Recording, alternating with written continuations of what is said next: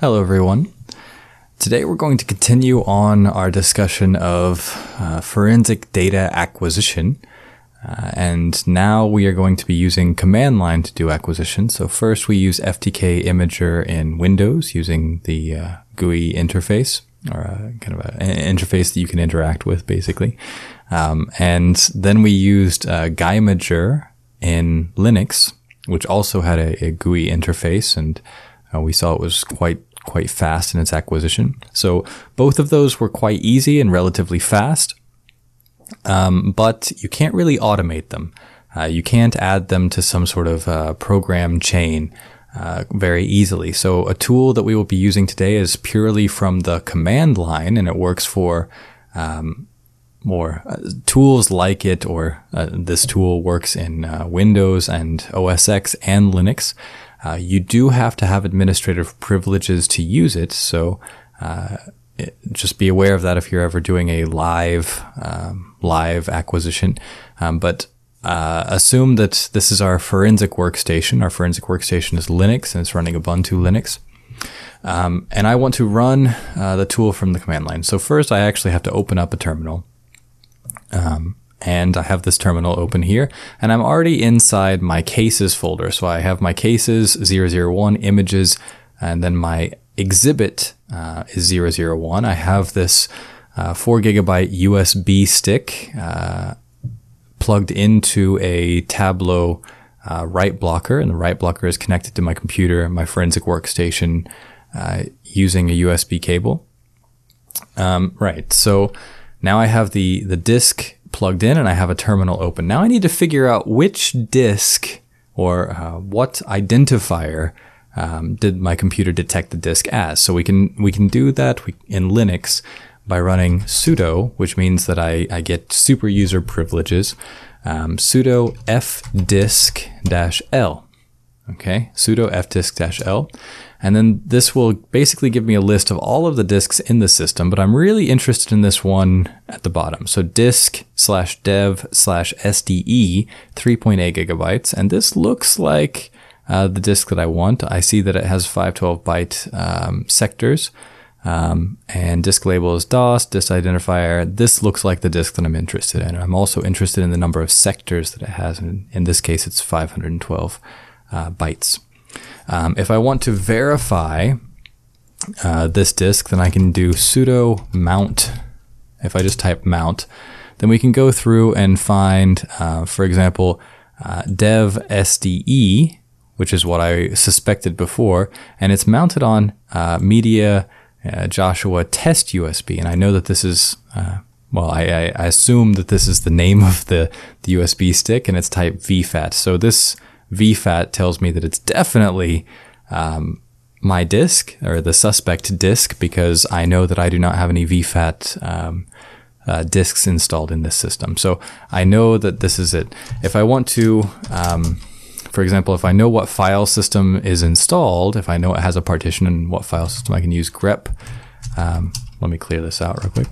Clear, so I can use sudo mount and then pipe that into grep and do vfat.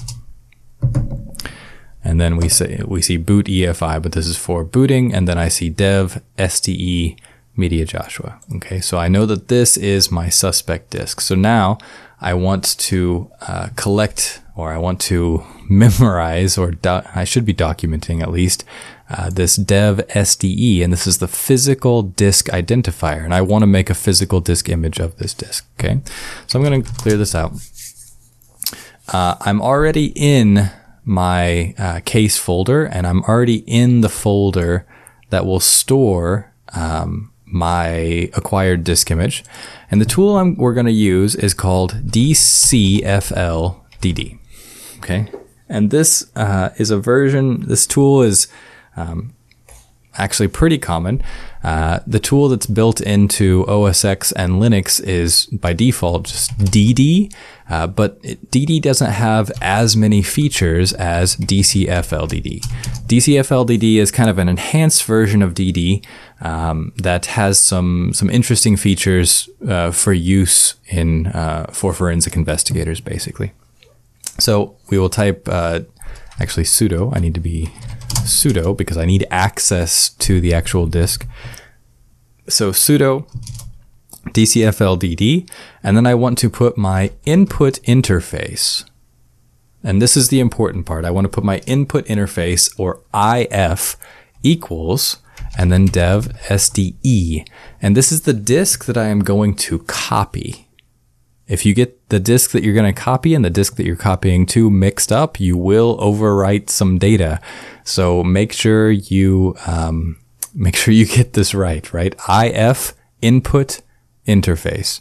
So DCFLDD IF equals dev SDE, and that's co- making a copy of the uh, the disk that I have. Okay, and then DCFLDD has the ability to make hashes uh, while it's reading the data. So we want to say hash equals MD5 and SHA-1. Um, now, remember, FTK Imager and Guymager, I, I made uh, MD5 and SHA-1 hashes in both of them, and now I'll do it for this as well. And then I can say MD5 log equals uh, MD5.txt, and that will just say where do I save the MD5 log to. Uh, SHA-1 log equals uh, SHA-1.txt, and it will save the SHA-1 hash to a different log. And then I can say hash uh, convert after. Okay, so in this case, it's going to um, basically do all the, the the hashing afterwards. Byte size here is 512 because I want to basically be copying sectors here. So I want to uh, uh, make this the same size as the sector size. And then some extra flags. Um, basically to make uh, this run a little bit better if it runs into any errors or anything like that. Um, and then I want to split the image, split the disk image. Now, before uh, we were splitting the Im- disk image by well, 1,500 megabytes in, in both programs prior to this. So 1,500 im for meg, 1,500 im uh, sections. And then I want to say split format equals, and I'll go uh, 000, okay? Which is very similar to the way that Guymager was doing it. Uh, so this will give it the, the 000 extension, uh, a 000 extension, which will look exactly like the way Guymager uh, made it look. And then OF, and this is my output interface. So IF input interface, OF output interface. IF is where I'm reading the data from. OF is where I'm saving the data to. Um, so it's very important that we we get the output interface right because if you don't, then you you could overwrite data. You could override your hard drive and lose all of your data. So uh, be very careful whenever you run this uh, command. Make sure you're running it in a test system until you really know what you're doing. Um, and in this case, I'm going to call it um, USB uh, test USB. So the output interface, I'm just writing it in this case to a file in the directory uh, cases 001, images 001, and then it will be test USB and it will have the extension 000. Okay. So whenever we run that, let's click OK. Now it's writing the data. So let's go to the 001 file and see what, and uh, see what's going on. I'll move this up so we can see what's going on. Okay. Uh, so we can see the the first part of the image. Okay, first part of the image is created. It has test USB dot zero zero zero, and then whenever it got to uh, 1.6, basically 1.5 gigabytes, then it made the second part test USB 001. Now it's test zero test USB 002. If I go to md5.txt, well, it, ha- it hasn't saved anything yet because it's not finished yet. Okay, so now it's finished. We should have yeah the MD5 value. And if you recall from uh, Guymager, our MD5 value was F7A79. Uh, so this looks like it is the same value as before, and our SHA-1 value is in this SHA-1 log.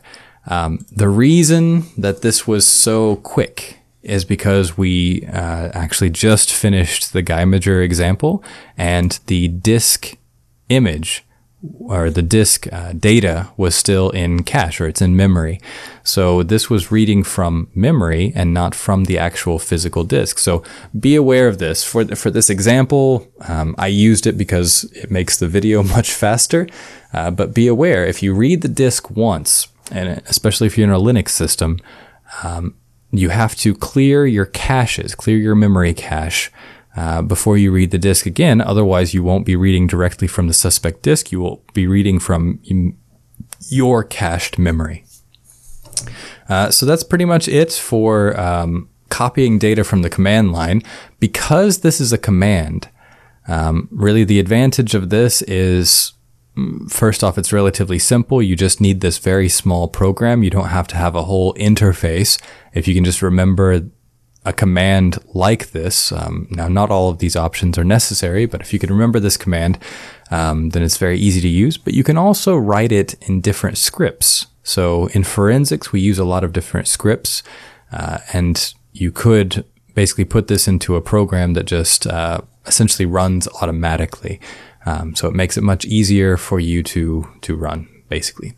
Um, this tool works in uh, Linux, OS X, and Windows. Um, there are versions uh, for all the different, well, most different operating systems, or you can compile it yourself. Um, so um, this is just to get you used to working with the command line a little bit. Um, the more you can work with command line, the better, um, the easier things will be for you. Uh, in doing kind of automation in forensics. So that's uh, pretty much it. I guess we can uh, just use, like last time, the same method for verifying our hashes. So we have our MD5 hash text here, and we have uh, F7, 7, F7A79. And if I go back in and I do cat and then test USB star, right, that's going to read all of the data from the three different parts of my disk image. And then I'm going to pipe that into MD5 sum. And it will make the hash value for that. And we'll open this back up just to make sure. So now it's reading all the data, and then we get F7A79. So all of the uh, images that were collected, uh, they do verify. We do have the correct value. So again, I would make, um, since I've just acquired my data, I would make an archive of this data. I would uh, basically copy the data, make an archive of the data, make sure everything, all the hashes matched, and then uh, uh, save this data someplace else uh, so it doesn't get damaged. Um, yeah, so that's it for copying data using Linux command line and DCFL DD. Thank you very much.